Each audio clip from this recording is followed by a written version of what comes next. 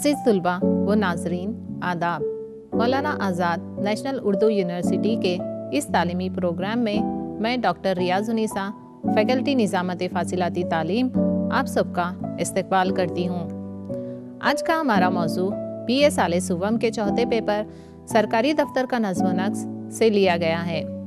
इस सबक का दफ्तरी तरसील और मुरासिलत है।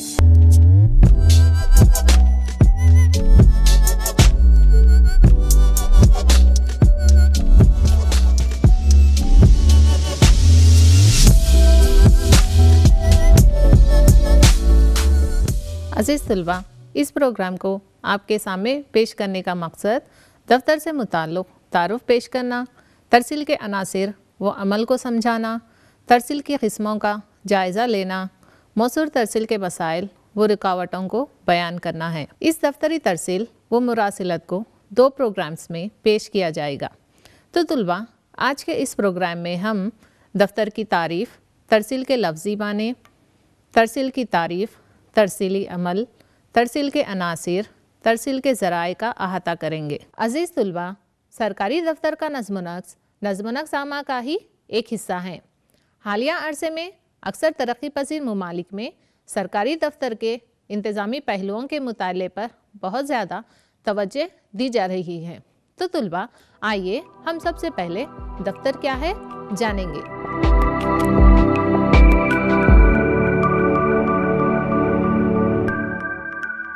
दफ्तर से मुराद किसी इदारे के इस हिस्से से होती हैं, जिसमें इब्तदाई या क्लर्की से मुताल्लुक़ काम अंजाम पाता है। कोई भी इदारा ख्वाह वो सरकारी हो या गैर सरकारी, इसमें मुख्तलिफ़ अकसाम के काम अंजाम दिए जाते हैं।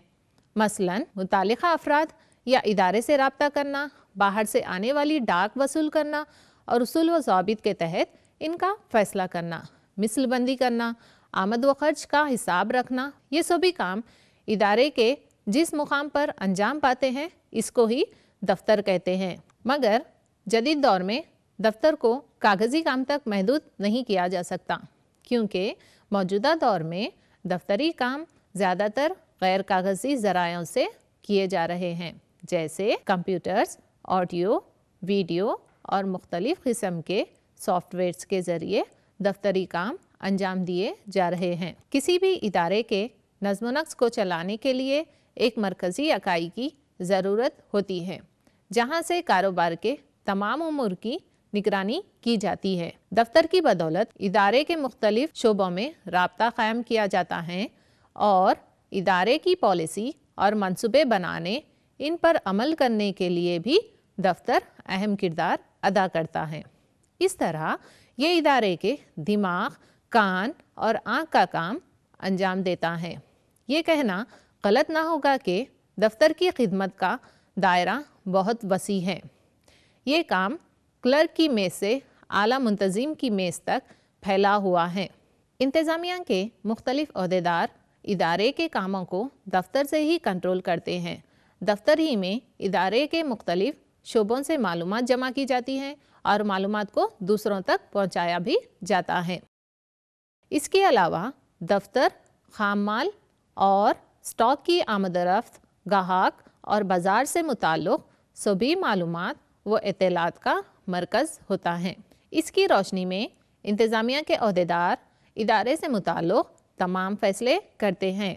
दफ्तर ही में इदारे से मुतल सभी कागजात बाहिफाजत रखे जाते हैं और इदारे के इंदराजात वगैरह का काम भी अंजाम दिया जाता है।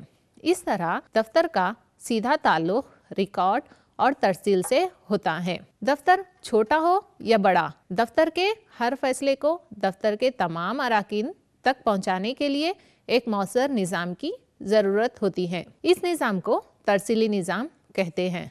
तो तुलबा अब हम तरसील के लफ्ज़ी माने क्या है जानेंगे।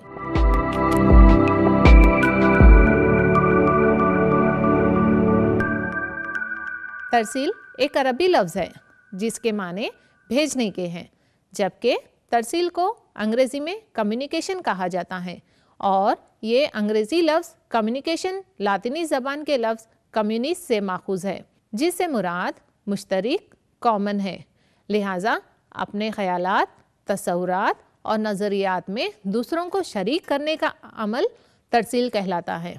तो आइए तुलबा अब हम चंद अहम मुफक्रीन की तारीफ़ात के ज़रिए तरसील को समझने की कोशिश करते हैं। माहरीन कारोबारी इंतज़ामिया, हैरोल्ड कुंट्स एंड ओडोनेल ने तरसील की तारीफ़ कुछ इस तरह की है कि तरसील भेजने वाले से वसूल करने वाले के दरमियान इतलात का तबादला है, जिसमें भेजने और वसूल करने वाला इतला को समझता है। न्यूमन की वाज करदा तारीफ़ के मुताबिक तरसील दो या दो से जायद अफराद की जानब से हक़ तस्वूरात राय या जज्बात का इजहार है। American Society of Training Directors की जानब से की गई तारीफ़ के मुताबिक तरसील, बाहमी, सूझबूझ और अतमाद या बेहतर इंसानी ताल्लुक़ के लिए ख्याल और इतलात का बाहमी तबादला है। इससे हम ये नतीजा अक्स कर सकते हैं कि तरसील दरअसल दफ्तर और तंजीम के मुख्तलिफ़ अज्जा के दरमियान बाहमी ताल्लुक़ और सूझबूझ को फ़रोग देने का वाद ज़रिया है। तरसीली निज़ाम के धर्म भरम होने से तंजीम के मकासद ही धर्म भरम हो जाते हैं। चुनाचा, तंजीम के अरकान के दरमियान ताउन अमाहंगी पैदा करने के लिए मौसर तरसीली निज़ाम की ज़रूरत होती है। इस तरसीली निज़ाम को मुख्तलिफ़ तरसीली अमल के मराहल के ज़रिए मौसर बनाया जा सकता है। तुलबा तो हम सबसे पहले तरसीली अमल और तरसीली अमल के मुख्तलिफ़ मराहल को जानेंगे।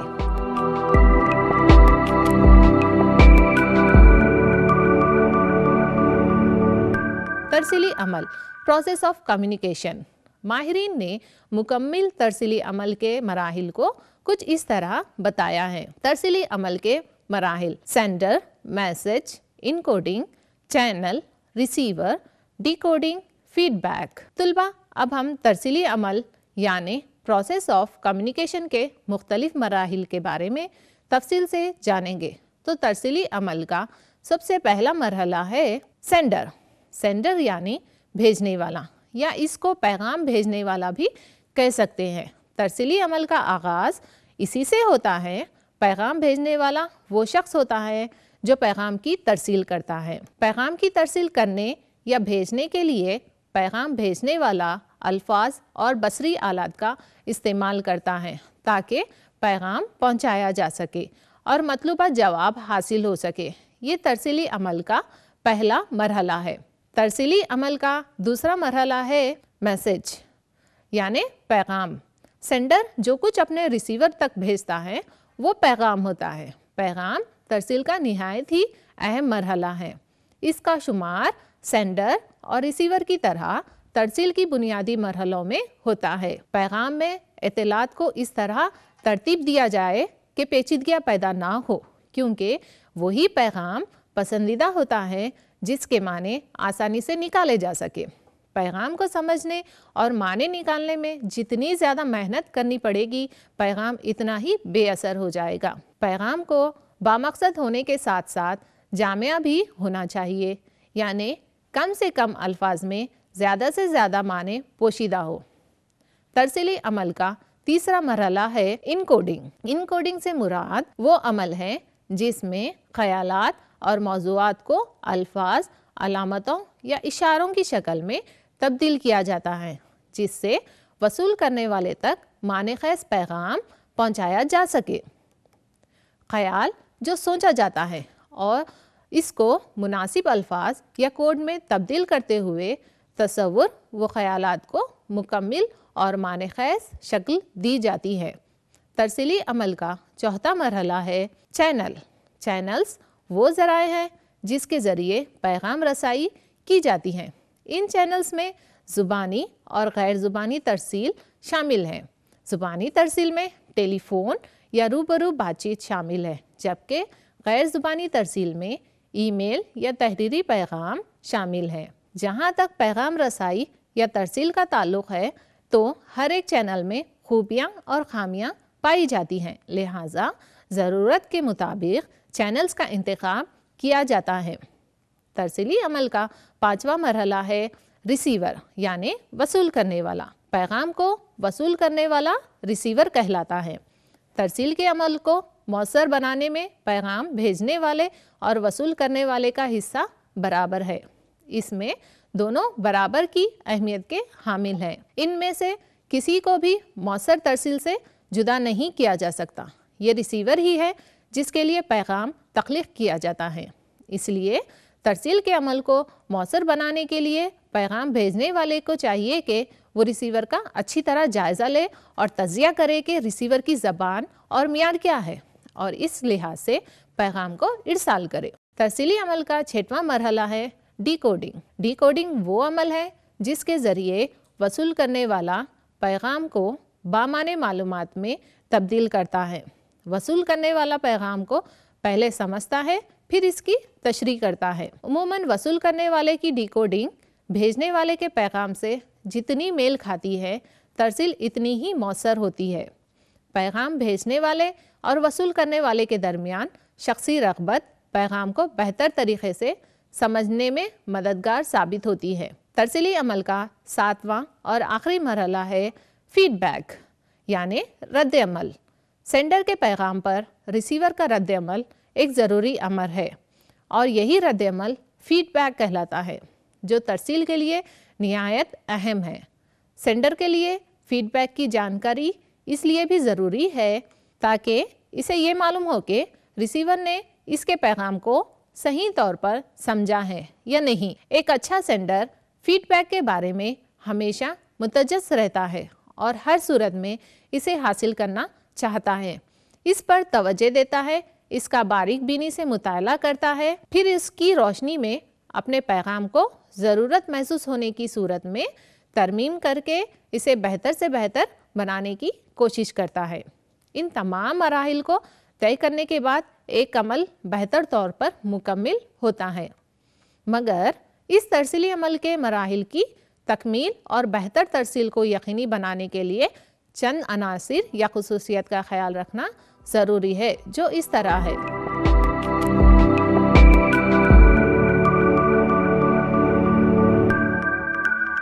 एक अच्छे मवासिलाती निज़ाम की खसूसियत कुछ इस तरह है। पैगाम रसा एक अच्छा ख़तीब, यानी स्पीकर हो, और पैगाम रसानी के अमल का आगाज़ सूझबूझ से करें। पैगाम रसानी के लिए इस्तेमाल की जाने वाली अलामतें वाज सादा और ऐसी हो, जिनसे पैगाम वसूल करने वाला भी वाकिफ़ हो, वरना पैगाम वसूल करने वाले के लिए माने बदल जाएँगे। तीसरा पॉइंट है, पैगाम तहरीरी या ज़बानी हो सकता है और इसे ज़राए तरसील व इबलाग जैसे वायरलेस टेलीफोन फैक्स टेलीग्राम या इंटरनेट वगैरह के ज़रिए भेजा जा सकता है। चौथा पॉइंट है, पैगाम की नौीयत के लिहाज से तरसील के सही ज़राए का इंतखब हो। पाँचवा पॉइंट है, भेजे जाने वाले पैगाम के साथ ही फ़ौर वसूल कुनिंदा इसका जवाब या इशारा दे के इसे पैगाम वसूल हो चुका है और इस पर अमलवारी जारी है।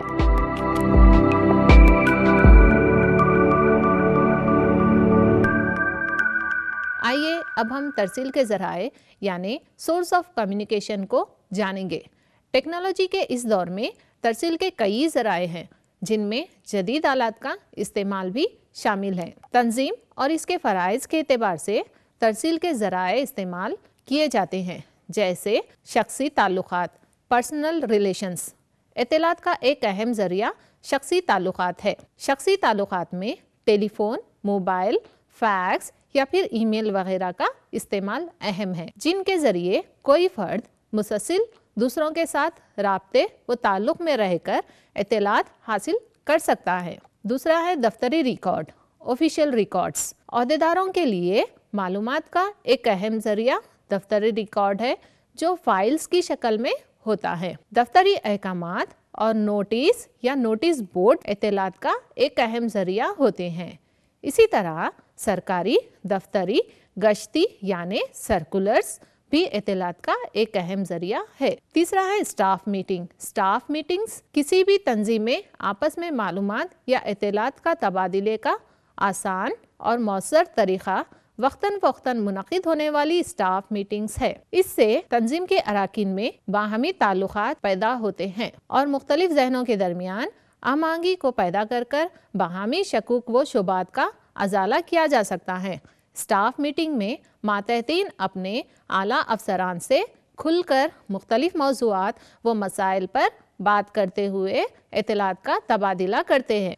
चौदह है सर्विस मैनुअल। हर महकमा में मुलाजमत के कवायद व जवाब कदरे मुख्तलिफ़ होते हैं, जिन्हें महकमा मैनुअल्स की शक्ल में अपने मुलाजमीन तक पहुँचाता है। इस तरह मैनुअल के ज़रिए तंजीम के अरकान, मुलाजमत के शराइ इनको हासिल होने वाली मुराद, काम के तरीक़ेकार वगैरह से वाकिफ़ होते हैं और वो इस दायरे में रह कर काम करते हैं।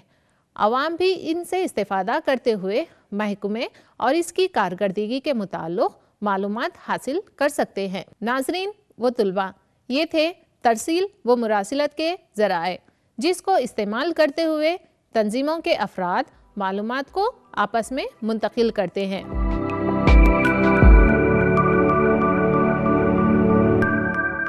अज़ीज़ तलबा, आज के इस सबक के ज़रिए मैंने दफ्तरी तरसील व मुरासिलत की तारीफ़, तरसीली अमल, अनासर और ज़राए को तफसली तौर पर आपके सामने पेश किया है, जिसमें मैंने बिलखसूस तरसीली अमल के मुख्तलिफ़ मराहल को बताते हुए मौजूदा टेक्नोलॉजी के दौर में तरसील के जो ज़राए मौजूद हैं, इनको बताया है। तलबा, इस मौजू से मुताल्लिक़ मज़ीद मालूम के लिए आप इन किताबों का मुताला कर सकते हैं। डॉक्टर अब्दुल क़यूम नज़म नक्सामा निसाब पब्लिशर्स, हैदराबाद 2015 दूसरी किताब है डॉक्टर मोहम्मद शाहिद हुसैन इबलाकियत एजुकेशनल पब्लिशिंग हाउस दिल्ली 2003 तीसरी किताब है मुनीर अंजुम, दफ्तरी तरीक़ेकार, एम आर पब्लिकेशंस, नई दिल्ली 2005 चौथी किताब है doctor Manmohan Prasad, management concepts and practices, Himalaya publishing house Delhi पांचवी किताब है James A F Stoner, R Edward Freeman management, Pearson, UP 2017 मजीद तफसीत के लिए रबता कर सकते हैं।